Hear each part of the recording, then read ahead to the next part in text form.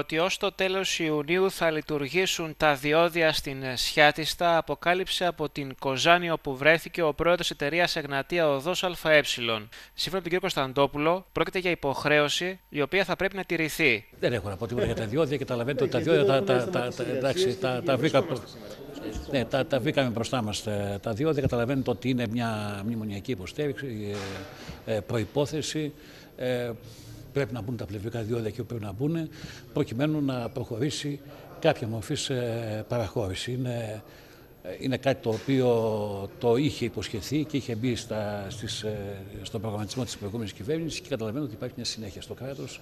Ε, πρέπει να υλοποιηθούν αυτά γιατί πιέζουν συνέχεια ε, και, και οι ξένοι και τα υπέδη κυρίως ε, και οι θεσμοί προς, ε, σε αυτή την κατεύθυνση να δημιουργηθούν τα πλευρικά διόδια στα σημεία στα οποία πρέπει να δημιουργηθούν. Το χρονοδιάγραμμα έχει αλλάξει έτσι αυτό; Όχι, το χρονοδιάγραμμα είναι σφιχτό, εξαιρετικά σφιχτό, ενώ το είχαμε χαλαρώσει κάπως, ε, μας το ξανασφίξαμε και θέλουμε τέλος πάντων μέχρι τον Ιούνιο να, να τελειώσουμε. Σε ερώτηση για τον λόγο καθυστέρησης της εργασίας των διοδίων, ο κ. Κωνσταντόπουλο υποστήριξε ότι αυτό αφορά τον εργολάβο. Σύμφωνα με το Δήμο Βοήου, η εταιρεία έχει αφήσει απλήρωτη την εργολαβία με αυτές να έχουν διακοπεί προσωρινά οι εργασίες.